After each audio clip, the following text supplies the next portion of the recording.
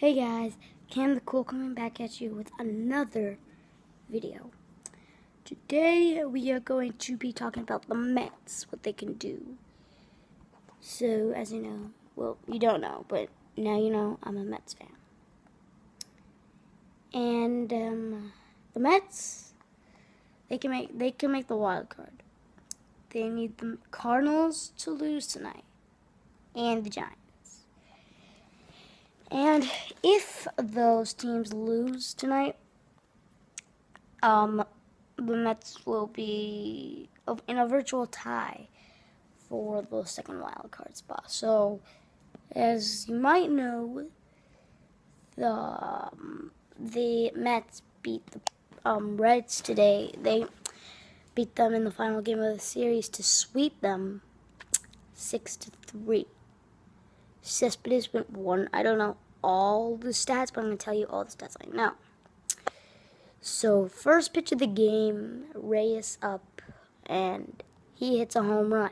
So that's great. They got off to a 1 0 start. And they didn't score till the second inning when, when I don't know the name of the Reds pitcher, but when the Reds pitcher threw a wild pitch, and I forgot who came in to score. Like, someone came in to score. And Granderson was that bad. So then made 2 0 Mets.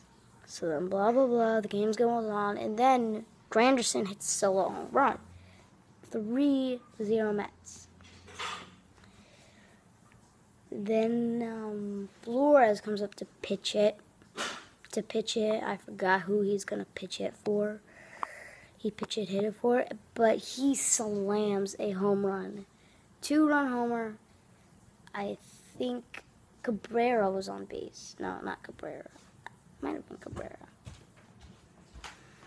And yeah. So he like slammed it and it was 5-0 Mets. And then in the eighth inning is just this guy, the new pitcher for the Mets, just messes it up. He gives three runs. It's five to three now. Then I think, yeah, um, Flores hits it out of there, to out of here, six three. Final inning, yeah, yeah. Mets don't score, and then Reds don't score. Final score: Mets six, Reds three. Mets now 74 and 66. 13 hits for the Mets and 13 hits for the Reds and one error by the Reds and no errors by the Mets. Alright, that is today's video, so bye.